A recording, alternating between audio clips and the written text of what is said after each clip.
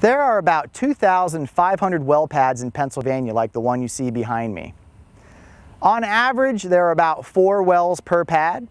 Currently, there are about 11,500 wells in Pennsylvania, of which 10,000 are actually producing natural gas right now. In 2017, the shale wells in Pennsylvania produced about 5.3 trillion cubic feet of gas, which is about 20% of all the gas produced in the United States. That makes Pennsylvania the second leading natural gas producing state in the U.S., second only to Texas. So along with the gas, these wells produce brine.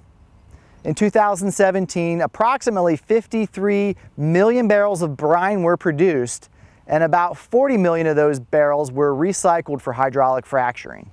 The advent of recycling brine in Pennsylvania for hydraulic fracturing is really unique.